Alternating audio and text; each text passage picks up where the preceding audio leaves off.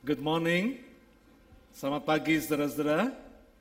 Saya senang sekali hari ini bisa bersama-sama saudara lagi untuk kita beribadah dan menyembah Tuhan di tempat ini. Selama satu minggu ini saya membayar utang tidur. Karena selama di Indonesia kekurangan tidur. Tapi hari ini saya bersyukur Tuhan boleh menguatkan saya untuk boleh kembali bersama-sama saudara. Hari ini saya akan bicara tentang The Kingdom of Heaven atau Kerajaan Sorga, seri yang pertama. Ya. Saudara, setiap orang di dunia ini pasti ingin jadi orang sukses. Tapi faktanya menunjukkan tidak semua orang sukses. Ada yang sukses, ada yang enggak. Ya. Nah, timbul pertanyaan saudara, apa yang bisa bikin mereka sukses? Sebagian sukses, yang lainnya enggak. Why? Padahal mereka sama-sama punya waktu 24 jam. Ya. Sama-sama sekolah, sama-sama makan nasi, tapi hasilnya beda. Ternyata saudara, menurut penelitian, orang sukses itu yang pertama, orang ini tahu sesuatu yang orang lain tidak tahu. Yang kedua, orang sukses itu bisa mengenali sesuatu yang berharga, sementara yang lain tidak. Yang ketiga, orang sukses itu punya tekad untuk melakukan yang the best, sementara yang lain tidak. Jadi di sepanjang hidupnya orang ini memiliki tiga ini. Ini menurut penelitian. ya. Jadi kalau saudara mau jadi orang, orang sukses, saudara lakukan ini. Nah bagi orang percaya, Sukses itu karena kita memiliki kerajaan sorga. Bukan hanya sekedar tiga hal tadi, tapi juga karena kita punya kerajaan sorga. Punya hidup kekal, punya keselamatan. Kalau tadi yang tiga kriteria tadi orang sukses tadi secara general, secara umum yang dipercaya oleh orang-orang di dunia ini. Tapi bagi orang percaya, sukses satu lagi, yaitu punya keselamatan, punya hidup kekal, ya, punya kerajaan sorga. Nah pertanyaannya sekarang, sejauh mana nilai kerajaan sorga itu bagi orang percaya? Mari kita baca sama-sama kitab Matius pasal yang ke-13 ayat yang ke-44. Matius 13 ayat yang ke-4. Firman Tuhan berkata demikian, hal kerajaan sorga itu seumpama harta yang terpendam di ladang, yang ditemukan orang, lalu dipendamkannya lagi. Oleh sebab sukacitanya, pergilah ia menjual seluruh miliknya, lalu membeli ladang itu. Ternyata kerajaan sorga itu, saudara, dikatakan di sini dalam perumpamaan ini disebut sebagai harta terpendam yang ditemukan. Ini menarik sekali. Harta yang terpendam, berarti apa? Harus digali. Betul nggak, saudara? Karena terpendam. Perlu ada satu usaha untuk menggalinya. Nah banyak Orang Kristen hidupnya pada hari-hari ini kurang menggali ini. Hidupnya biasa-biasa saja. Bertahun-tahun tetap sama. Grafiknya datar. Enggak, naik juga enggak. Kalau ditanya gimana? Lumayan. Orang Indonesia kan paling seneng ya jawabnya, how are you? Lumayan. Baik. Tapi ini menunjukkan satu grafik yang mendatar, saudara. Jangan pernah puas kalau saudara jadi orang Kristen yang biasa-biasa saja. Karena apa? Yang biasa-biasa itu bikin saudara bosan sendiri. Saudara percaya enggak? Kalau saudara lakukan itu biasa-biasa, segala sesuatu yang saudara lakukan biasa-biasa, nanti yang bosan saudara sendiri, betul? Ya. Bukan orang lain. Kalau kita sendiri bosan, apalagi orang lain. Ya, kira-kira begitu, saudara. Jadi kita mesti hati-hati. Banyak orang Kristen yang mundur, yang suam-suam kuku, dan tidak efektif membawa orang untuk percaya kepada Yesus. Karena masalah ini.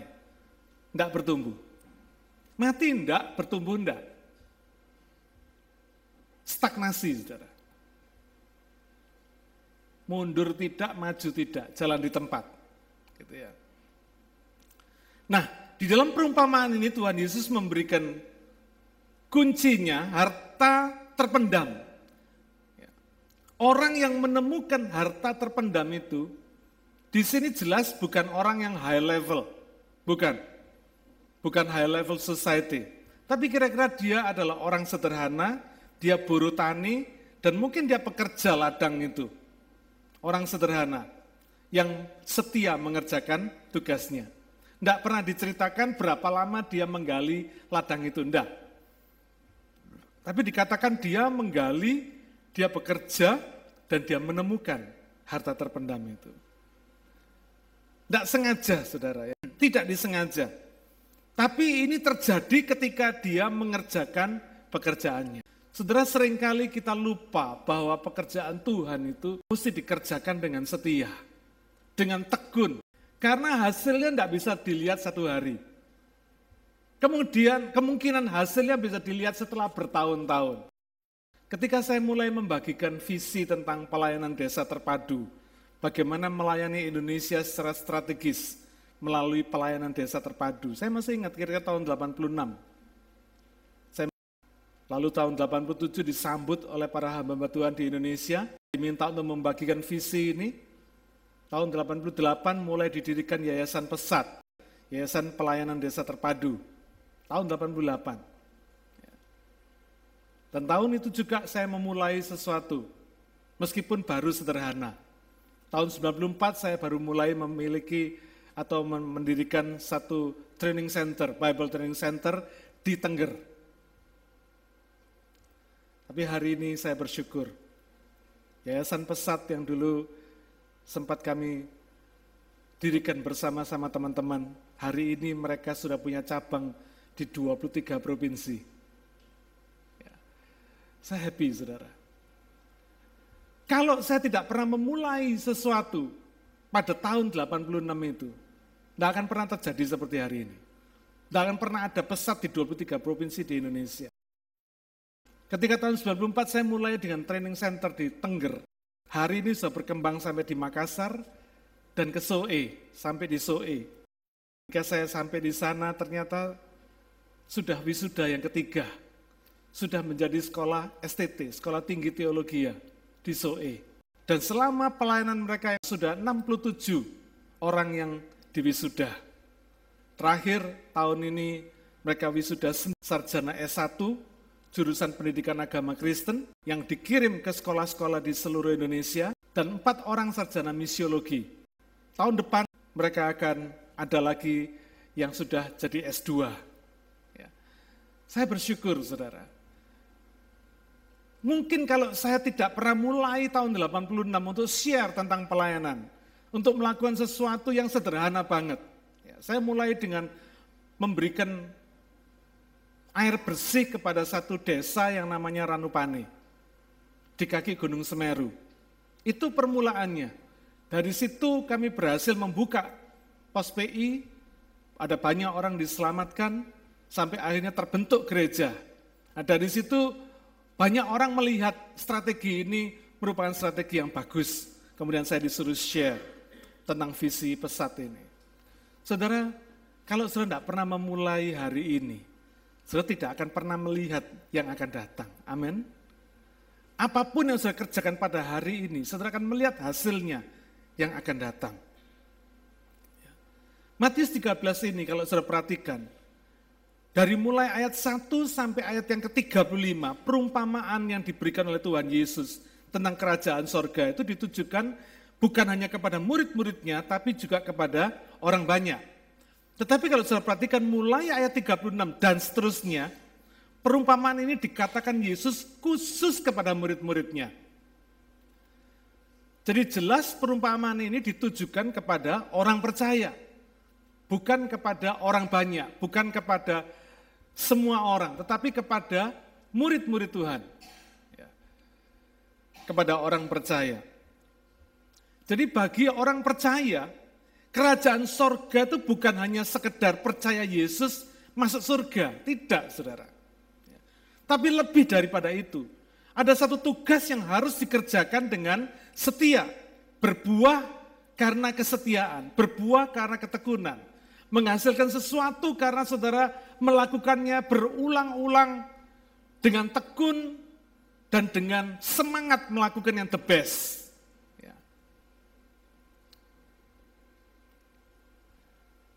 Saudara, ketika kita harus melakukan sesuatu yang berulang-ulang, kelihatannya yang membosankan tadi, kelihatannya yang biasa tadi, tapi kalau saudara melakukannya dengan semangat yang the best, saya percaya, yang biasa jadi luar biasa. Saudara mungkin tiap hari harus baca Alkitab. Tiap hari saudara harus berdoa. Tiap hari saudara harus melayani secara praktis di dalam kehidupan saudara sehari-hari. Mungkin yang istri melayani suami, yang suami melayani istri, melayani anak dan sebagainya. Yang bekerja melayani customer, bekerja untuk company dan sebagainya. Tetapi sesuatu yang sifatnya rutin ini, kalau sudah lakukan dengan semangat doing the best, saya percaya menjadi sesuatu yang luar biasa. Kelihatannya biasa, tapi luar biasa. Powernya ada, saudara. Ketekunan ini menjadi satu masalah besar di dalam kehidupan orang Kristen. Ketekunan dan kesetiaan ini menjadi satu masalah. Bukan hanya di dalam kehidupan orang Kristen saja, tetapi juga kebanyakan di dalam kehidupan manusia. Karena orang itu bisa diajak untuk melakukan sesuatu yang baik, itu untuk waktu yang singkat. Suruh disiplin sehari bisa, seminggu bisa. Tapi setahun belum tentu. Ini kelemahannya. Karena itu hari ini saya mengencourage saudara semua. Saya mendorong seluruh jemaat. Jangan pernah ragu untuk melakukan sesuatu yang biasa, yang kelihatannya biasa, tetapi dengan semangat yang luar biasa. Itu akan membuat yang biasa menjadi luar biasa. Amin. Ada sesuatu, ada power yang saudara berikan. Oleh karena saudara melakukannya dengan luar biasa. Dengan semangat untuk melakukan yang the best. Saya masih ingat ketika saya mulai masuk kuliah di teknik sipil Universitas Petra. Waktu itu susah masuk Petra. Ya. Tapi akhirnya ada 150 orang yang sama-sama dalam lifting saya masuk di dalam uh, Fakultas Teknik Sipil. Kita di posma sama-sama, dikundul sama-sama, dibikin sengsara sama-sama, ya. suruh masuk di got, saudara ya. Dulu posmanya kan berat ya, sekarang masih tidak ada posma, dulu di posma saudara. Saya paling takut kecoa, tapi waktu di posma saya harus masuk selokan, tahu ke got itu selokan. Di muka universitas saya itu ada selokan segini, kira-kira besarnya, tingginya segini. Jadi kalau masuk di selokan itu, saudara, katanya dibaptis, katanya saudara. Jadi masuknya bersih, keluarnya jelek, saudara. Tidak karuan, saudara bisa bayangin sendiri. Ya. Jadi isi selokan itu ketika kami mulai masuk, pertama kali itu dorong-dorongan. Kamu dulu, kamu dulu, kamu dulu, kamu dulu, tidak ada yang mau duluan. Akhirnya sama uh, apa seniornya didorong, ditendang, akhirnya masuk saudara ya. Ketika masuk, rupanya balapan sama kecoa, sama sama uh, tikus, lari semua, sama-sama bergerak. Gitu. Karena cepet-cepetan. Ya. Mengalami kesusahan yang sama. Dijemur, disuruh cari mie, yang tidak boleh putus sepanjang satu meter. Bayangin. Sampai jam 2 pagi nyari mie yang tidak putus selama satu meter. Diukuri satu meter, kurang dari satu meter, berdiri dua jam. Disiksa sama-sama, masuknya sama-sama, mengalami penyiksaan sama-sama. Ya. Saya pernah disuruh push up 200 kali. Saya ter, termasuk anak Badung, saudara. Waktu senior saya suruh saya push up 200 kali, saya tantang dia push up 400 kali. Jadi karena senior saya tidak berani, akhirnya saya tidak jadi disuruh push up. Gitu. Ada akalnya, saudara. Karena saya bilang kalau senior nyuruh yang junior, seniornya harus ngasih contoh. Kalau yang senior nggak bisa kasih contoh, jangan nyuruh, saya bilang. Ya. Sama-sama mengalami penderitaan. Tapi ketika saya lulus, dari angkatan saya cuma ada 32 orang yang lulus jadi insinyur. 150 orang masuk di tahun 77, angkatan 77, tapi yang lulus, meskipun lulusnya nggak tahu, lulusnya setelah 5 tahun, 6 tahun, 7 tahun, 8 tahun, ada yang lulus 12 tahun, pokoknya semua dari angkatan saya yang lulus cuma 32 orang. Lalu saya iseng, saya suka meneliti saudara. Saya coba teliti teman-teman saya yang nggak bisa lulus jadi insinyur. Ternyata mereka tuh bukan goblok. Bukan koflok, bukan. Tapi mereka tidak tekun. Andai kata saya tidak tekun, saya pernah tidak lulus sembilan kali, saudara. Ujian sembilan kali. Karena diceng dosen. Gara-gara dosennya anak istri saya. Sembilan kali, bayangin saudara. Ujian sembilan kali itu bukan hal yang kecil. Bagi saudara yang pernah uh, ngikuti testing IELTS, saya hari ini Charlie tidak ada, 13 kali. Tidak lulus-lulus 13 kali. Saudara, untuk membuat semangat mengikuti ujian lagi itu tidak mudah loh saudara. Karena apa? Sudah ada peta di sini, mapping di dalam pikiran kita yang berpikir, Allah paling tidak lulus lagi. Sampai ujian saya dibuat taruhan sama teman-teman saya. Ayo lulus enggak? Gitu. Ada yang buat taruhan. Karena apa? Tahu semua. Saudara. Karena saya tidak lulus bukan karena tidak bisa. Tapi karena ada faktor X. Dosen di Indonesia kayak raja, saudara ya. Diprotes pun tidak mempan. Tapi yang mau saya ceritakan pada saudara, kenapa dari 150 orang ini cuma 32 yang bisa lulus jadi insinyur? Entah lulusnya pas-pasan, lulusnya cum laude, pokoknya lulus jadi insinyur. Cuma 32 orang. Nah yang lain ke mana saudara? Yang 118 ini ke mana? Kenapa kok cuma sedikit yang lulus? Hari ini saya kasih tahu, bukan karena mereka tidak pinter, bukan. Tapi karena tidak tekun. Coba bayangkan kalau saya akhirnya motol, drop out ketika saya tidak lulus sampai 8 kali. Tidak bakal jadi insinyur saya, betul? Tapi karena saya belajar untuk tekun, saya percaya saya bisa. Dan usaha yang the best ini, itu penting saudara. Sampai akhirnya dosen-dosen saya semua tidak terima ngelihat saya di, di jahili kayak gitu ya. Ditindas seperti itu. Akhirnya dosen-dosen saya, ada enam dosen menghadap ke rektor saya. Dia menceritakan kasus saya mereka mengatakan saya tidak mungkin, tidak bisa mata mata ujian ini, mata pelajaran, tidak mungkin. Karena kalau saya tidak bisa mata pelajaran ini yaitu mekanika teknik, saya tidak mungkin bisa mata ujiannya mereka. Tidak mungkin saya bisa lulus beton, tidak bisa lulus baja, tidak bisa lulus kayu, tidak bisa lulus air, keairan dan sebagainya. Tidak bisa, tidak bakal bisa. Akhirnya mereka protes ke rektor dan rektor akhirnya bikin keputusan. Bagi mahasiswa yang mata kuliahnya tinggal satu diperiksa oleh tim dosen diperiksa oleh lima dosen. Puji Tuhan, akhirnya saya lulus. Dengan satu dosen yang sama tidak meluluskan saya. Empat dosen meluluskan saya, satu dosen tidak meluluskan saya. Tapi akhirnya saya lulus. Saudara, saya mau kasih tahu pada saudara, semangat untuk terus-menerus melakukan itu dengan hati yang the best, dengan pikiran yang the best, dengan semangat yang the best, itu membuat saudara melihat, bisa melihat hasilnya secara luar biasa. Amin.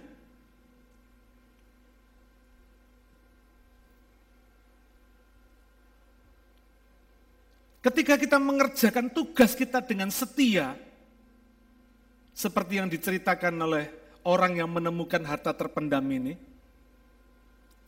maka ia bisa menemukan harta terpendam itu. Ketika dia menggali, ketika dia mengerjakan ladang itu, dia akhirnya menemukan harta terpendam ini. Matius pasal 7 mengatakan, carilah maka kamu akan mendapat. Mintalah kamu akan menerima. Ketuklah pintu akan dibukakan bagimu. Saudara ketekunan itu penting sekali. Karena kekristenan itu bukan short time. Kekristenan itu bicara soal kekekalan bicara tentang long term, bicara tentang jangka panjang, membutuhkan ketekunan dan kesetiaan yang luar biasa. Ketika kita mengerjakan dengan setia, mungkin saudara tidak perlu sekolah teologi, tidak perlu jadi pendeta, tapi kalau saudara lakukan tugas saudara, mengikut Yesus dengan sungguh-sungguh, dengan semangat dan setiap hari ketika saudara baca Alkitab, saudara punya semangat yang the best. Ketika saudara berdoa, saudara memiliki semangat yang the best. Saudara mau lakukan sesuatu yang berbeda. Setiap hari saudara lakukan saya percaya, saudara akan mendapatkan hasil yang luar biasa. Amin. 1 Korintus 2 ayat 9 mengatakan, tetapi seperti ada tertulis, apa yang tidak pernah dilihat oleh mata, dan tidak pernah didengar oleh telinga, dan yang tidak pernah timbul di dalam hati manusia, semua yang disediakan Allah untuk mereka yang mengasihi dia. Inilah harta terpendam itu saudara.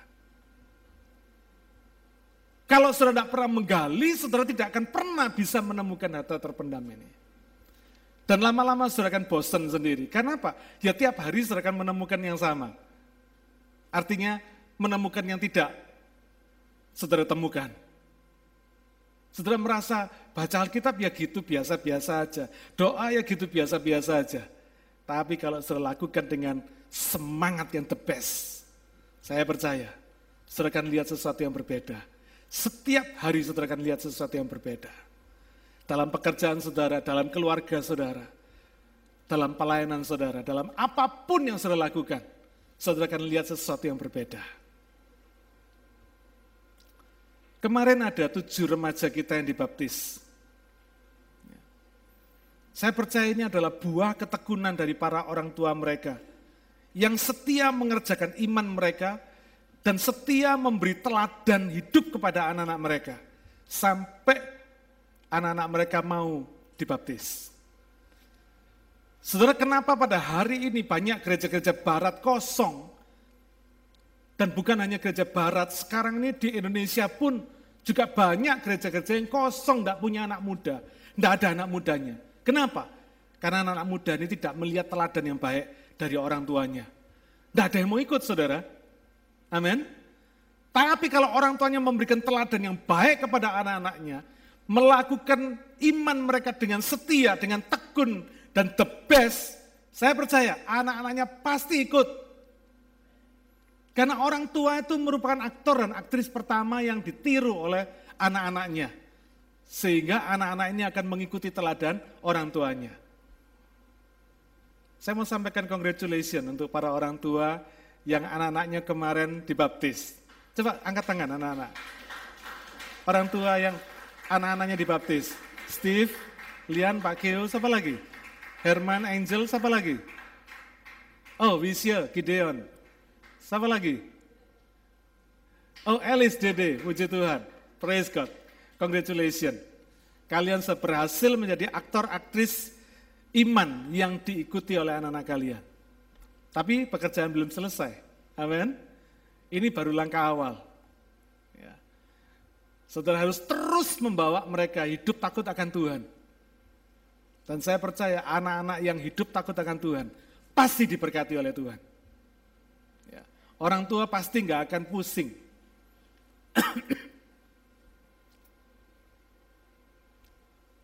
Di samping itu juga ada dua anak Brigids yang dibaptis dua anak China dikirim sama Tuhan dari China ke Sydney untuk terima Tuhan Yesus dan diselamatkan di sini. Saya percaya ini juga karya dari buah dari teman-teman mereka yang setia melakukan tugasnya menabur benih firman Tuhan. Amin. Mana anak-anak Brigids? Congratulations to you. Ya, praise God. Haleluya. Lakukan tugas kalian dengan setia. Saya percaya. Pernahkah kita mengukur berapa nilai jiwa mereka? Tidak bisa dibandingkan dengan seluruh isi dunia ini. Amin. Gak main-main loh saudara. Kalau Tuhan kirim mereka dari China ke sini, kita nggak tangkap mereka, sayang loh.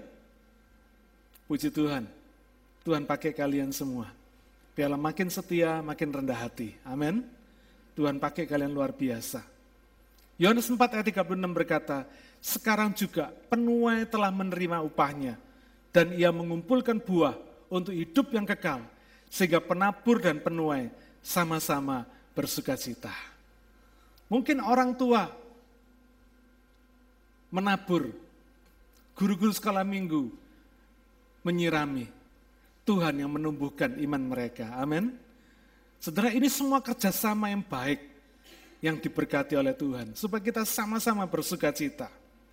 Nah, di dalam perumpamaan ini dikatakan ketika orang itu menemukan harta terpendam itu, dia tidak langsung curi, saudara.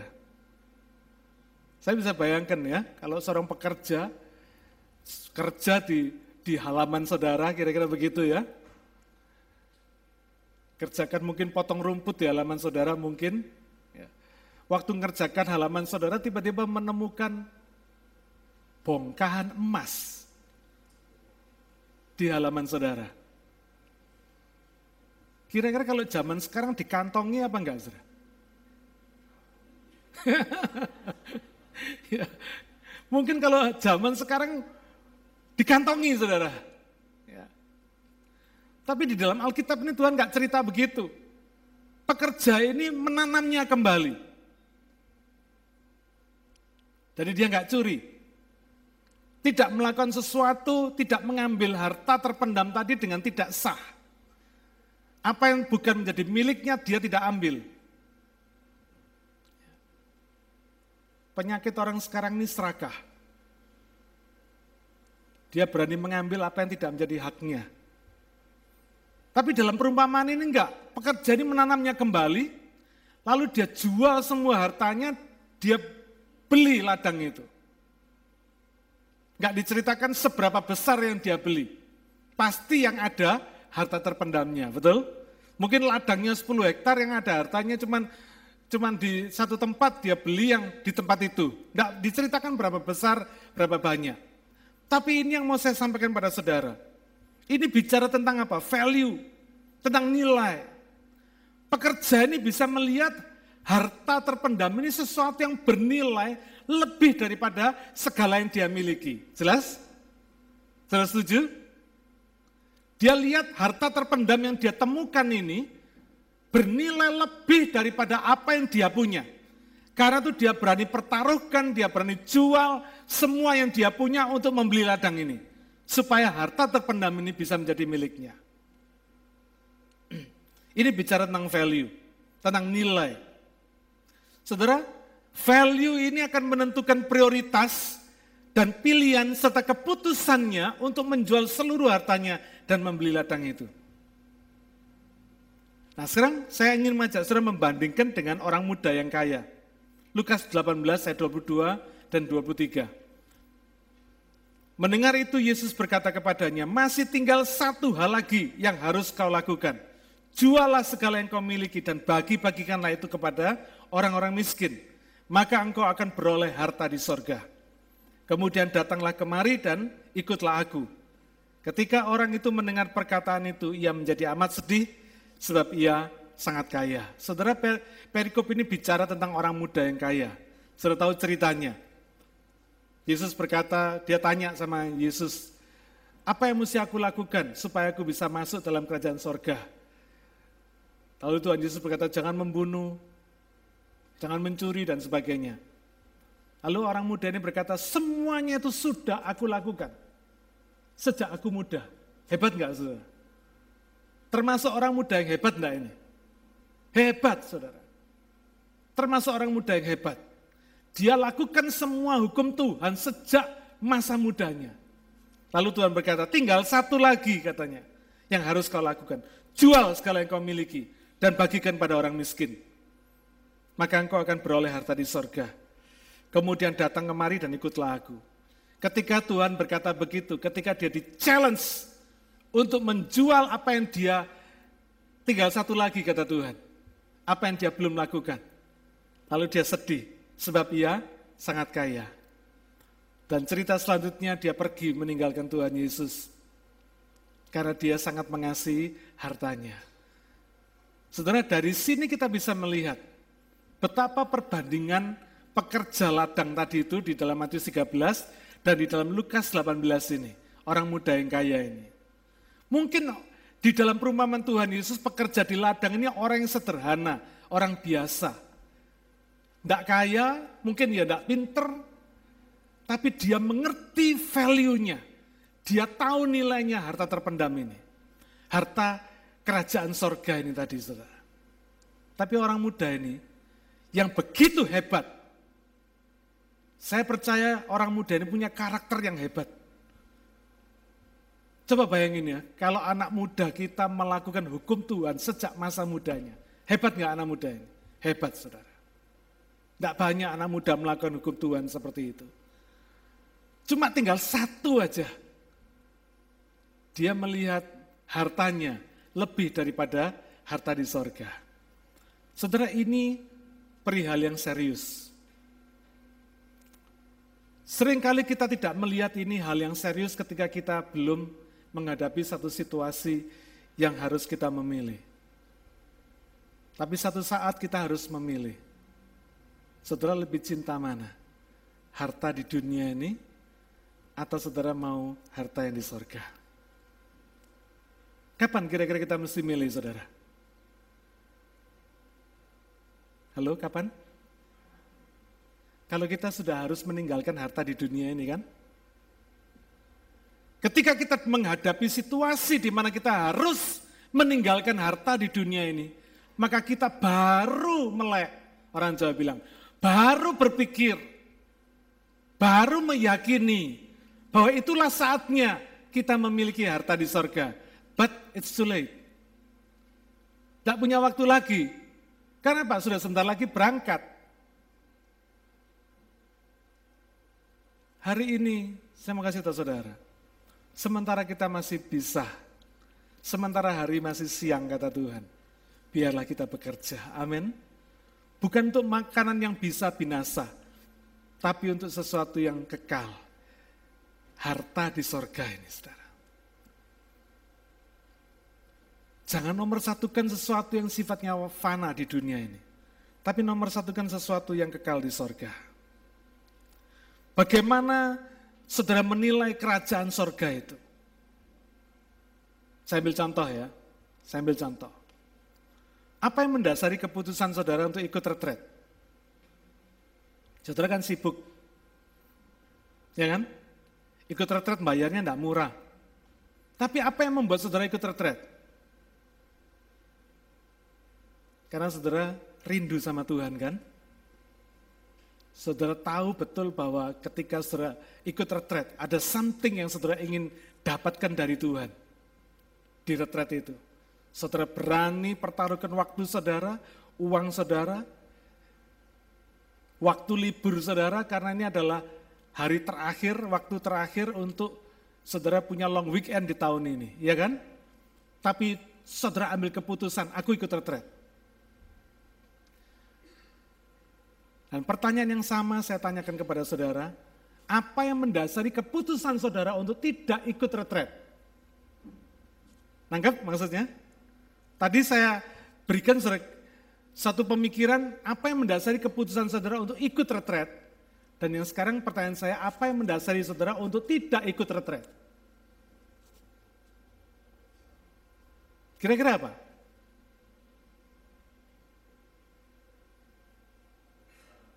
Saya lihat banyak wajah-wajah tersenyum. Jawaban Dewi.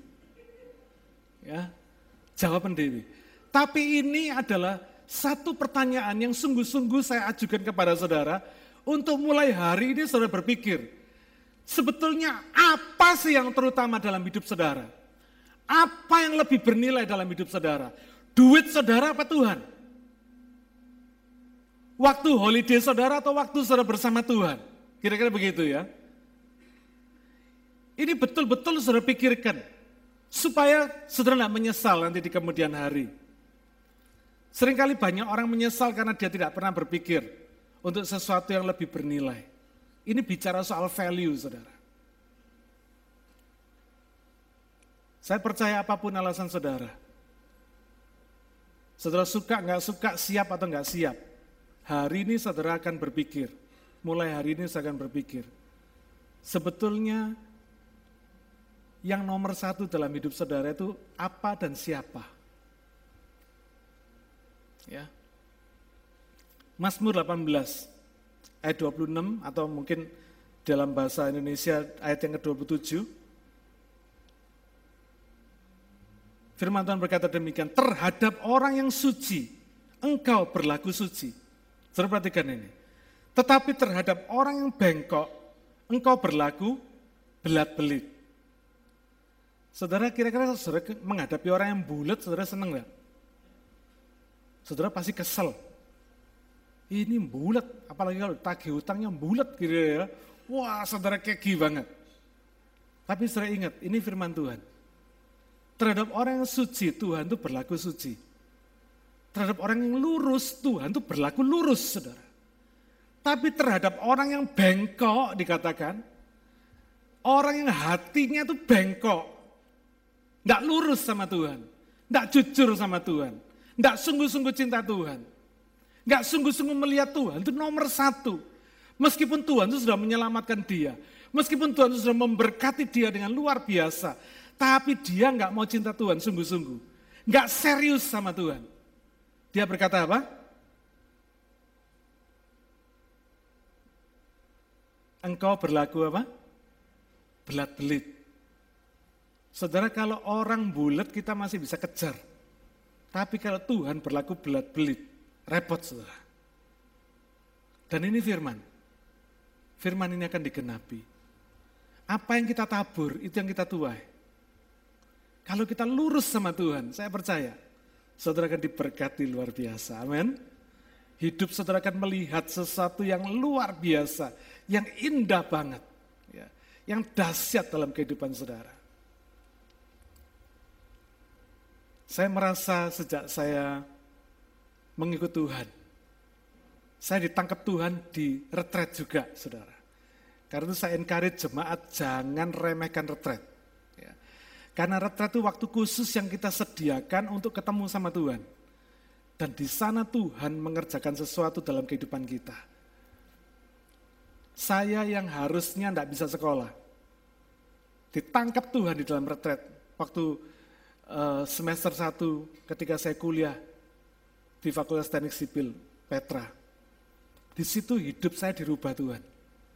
Mestinya drop out tidak bisa bayar uang sekolah lagi, tidak bisa kuliah lagi. Dirubah Tuhan. Saya dikasih mujizat dapat beasiswa sampai saya lulus insinyur. Dari anak miskin diangkat Tuhan. Sampai bisa mengakses puncak kekuasaan Saudara ini bukan main-main. Dari anak yang tidak mungkin pernah berpikir untuk hidup di Australia. Hari ini sekeluarga hidup di Australia. Nah enggak saudara? Ada satu perubahan yang besar yang dikerjakan Tuhan bukan karena saya baik, tapi karena Tuhan baik. Padahal saya ikut retret bukan karena saya sengaja mau ikut retret. Saya merasa dijebak waktu itu sama orang-orang Kristen. Tapi itulah baiknya Tuhan. Saya malah ngaco di retret. Tidak ada yang berani. Saya ngaco, kebaktian tak kacau sama saya. Tidak ada yang berani, saudara. Tapi itulah baiknya Tuhan. Orang ngaco ditangkap Tuhan. Luar biasa ya. Dipakai Tuhan, hidupnya dirubah Tuhan sampai hari ini. Dahsyat.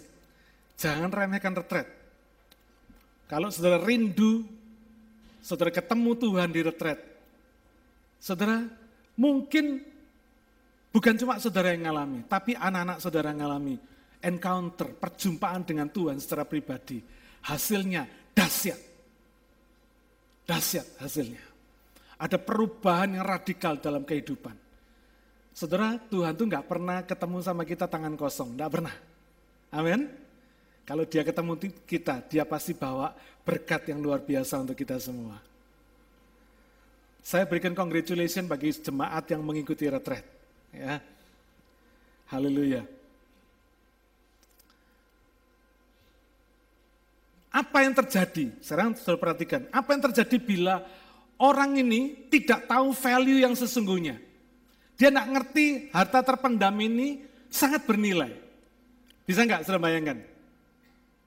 Dia temukan sesuatu harta terpendam, satu bongkahan warna kuning, dia nggak ngerti kalau itu emas. Kalau dia nggak ngerti kira-kira gimana?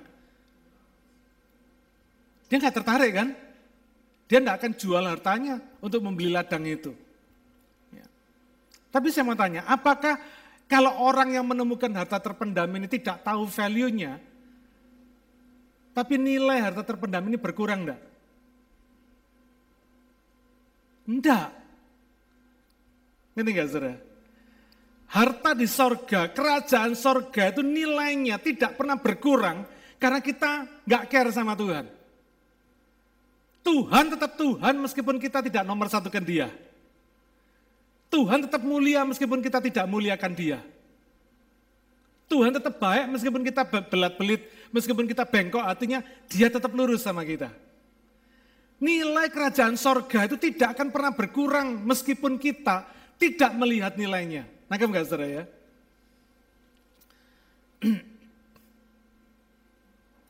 Tahun 90 saya ke Irian. Saya ketemu orang Irian tahun 90 itu kasihan banget. Dikasih uang seribu waktu itu enggak mau saudara. Dikasih uang seribu enggak mau. Karena warnanya biru. Uang seribu waktu itu warnanya biru. Saya sampai heran. Tak kasih uang seribu enggak mau. Mintanya uang merah. Warnanya merah. Padahal uang merah cuma 100 rupiah. Dan yang lebih kasihan lagi ketika dia beli di tempat yang paling pelosok di Wamena, pedalaman Irian. Di sana ada toko meracang orang Chinese, orang Cina, jual toko peracangan. Orang Irian kalau beli pakai apa? Bongkahan emas, saudara. Butiran emas segini loh. Beli katanya. Dia mau beli, keluarkan kantongnya, kerincing-kerincing, saya pikir uang kerincingan. Bukan, emas saudara. Karena begitu mudahnya dia dapat emas, ngayak air sungai gini-gini terus dapat emas bongkahan emas. Dia enggak peduli, dia ngambil pokoknya satu bongka, satu satu biji, satu bongka dikasih ke yang punya toko. Kata yang punya toko, silakan katanya. Maksudnya apa saudara? Silakan boleh ambil sendiri, pokoknya janjinya dua tangan sudah penuh, sudah. Bayangin. Bayangin saudara. Kenapa bisa begitu? Hari ini kita bisa ketawa, saya pun pada waktu itu ngeliat tuh geleng-geleng kepala. Dan orang yang punya toko peracangan, toko kecil peracangan, punya helikopter sendiri. Bayangin, dapatnya emas saudara, ditukar sama beras, sama gula, sama minyak, sama kerupuk. Pokoknya dua tangan ini sudah penuh, sudah ya katanya, sudah. Penuh atau tangan, sudah pulang saudara. Nanti datang lagi, beli lagi pakai pentolan emas lagi saudara. Bayangin, kenapa orang Irian ini bisa digitukan? Kenapa? Karena nggak tahu nilainya, betul? Nggak tahu nilainya emas ini berapa. Saya sampai geleng-geleng kepala. Saya sampai ngomong sama yang punya toko. Kamu kok tega sih? Lek saya enggak tega mungkin ya. Tapi dasar orang Chinese kan business mindednya besar ya. Jawabannya gini, lah habis saya sengsara di sini, ya mesti harus cuan banyak, dia bilang. Hebat, saudara punya helikopter sendiri. Dahsyat, saudara. Luar biasa. Ini contoh kesaksian yang jelas-jelas saya alamin sendiri. Kenapa orang Irian bisa begitu? Karena dia tidak tahu value-nya. Gak tahu nilainya. Yang penting dulunya uang uang merah itu 100 rupiah itu paling gede. Sekarang nggak tahu waktu itu 1000 rupiah itu yang paling gede. Dia mikirnya uang merah yang paling gede. Dikasih seribu enggak mau, mintanya uang merah. Seratus rupiah. Emas ditukarkan sama kerupuk. Wah, cuancian. Luar biasa. Nah, hari ini mungkin kita mentertawai orang Irian. Mari saya ajak hari ini kita mentertawai diri kita sendiri. Coba mari kita evaluasi. Seberapa besar kita menilai kerajaan sorga yang kita miliki hari ini.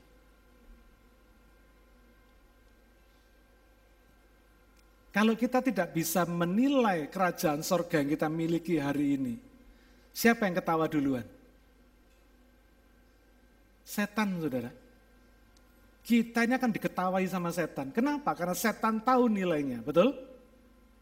Setan tahu nilainya kerajaan sorga itu. Tapi kalau kita anak-anak Tuhan tidak bisa menilai kerajaan sorga itu, diketawain setan kita saudara. Setan bakal mentertawai kita. Karena itu hari ini saya ingin mengajak saudara mengevaluasi. Pikirin, coba beri nilai. Kalau skor 1 sampai 10, kira-kira saudara kasih nilai berapa kerajaan sorga ini? Terus saudara kasih nilai berapa bisnis saudara? Saudara kasih nilai berapa uang saudara? Hobi saudara?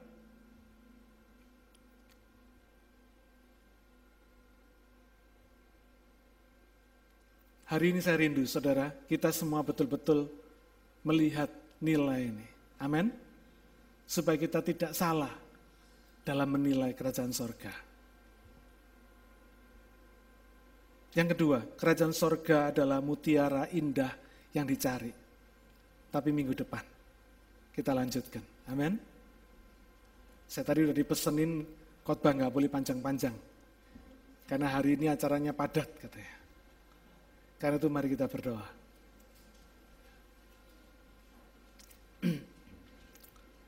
Bapak Surgawi kami percaya bahwa kerajaan sorga yang kau sudah berikan kepada kami tak ternilai di dalam kehidupan kami. Ampuni kami Tuhan, karena kami sering kali salah menilai. Sehingga kami salah memprioritaskan, salah mengambil keputusan Padahal engkau siap memberkati kami dengan harta terpendam itu. Bapak ampuni kami kalau kami tidak tekun dan tidak setia kepadamu. Ampuni kami kalau kami masih sering kali punya hati yang bengkok di hadapanmu. Manusia bisa ditipu, tapi engkau tidak pernah bisa ditipu. Engkau bisa melihat sesungguhnya siapa yang nomor satu di dalam kehidupan kami. Ampuni kami Tuhan kalau kami tidak menomorsatukan Engkau. Tidak melihat Engkau yang terutama dalam kehidupan kami. Ampuni kami supaya kami boleh berubah. Kami percaya Engkau tidak pernah putus asa dengan kelemahan kami. Tapi Engkau akan terus membentuk kehidupan kami, menyadarkan kami dan menasehati kami, serta menegur kami supaya kami boleh kembali kepada posisi yang seharusnya sebagai anak Tuhan yang kau cintai, yang sudah kau selamatkan, yang sudah ditebus oleh dengan bayaran tubuh dan darahmu sendiri di kayu salib. Untuk hidup kami semua, supaya kami tidak binasa tapi beroleh hidup yang kekal. Bapak ampuni kami, kalau kami tidak bisa membedakan apa yang sesungguhnya bernilai untuk kekal dan apa yang seharusnya tidak. Bapak kami percaya Engkau akan membentuk kami menjadi orang-orang sukses di dunia ini. Yang tahu apa yang bernilai, sedangkan yang lain tidak tahu. Tahu menilai yang berharga, sedangkan yang lain tidak tahu nilainya dan yang mau melakukan yang the best. Bapa, ampuni kami. Kuduskan kami. Kembalikan kami kepada posisi yang seharusnya. Supaya kami boleh melihat dan mengalami harta terpendam di dalam kehidupan kami. Kerajaan sorga yang mulia. Yang membuat kami hidup dengan sukses yang sejati di dalam kehidupan ini. Terima kasih ya Bapak terpujilah namamu. Kami serahkan seluruh jemaatmu ke dalam tanganmu. Hambamu sudah selesai bicara, tapi roh kudus engkau akan melanjutkannya sampai pada akhirnya. Dalam nama Tuhan Yesus kami berdoa. Amin. Tuhan memberkati saudara.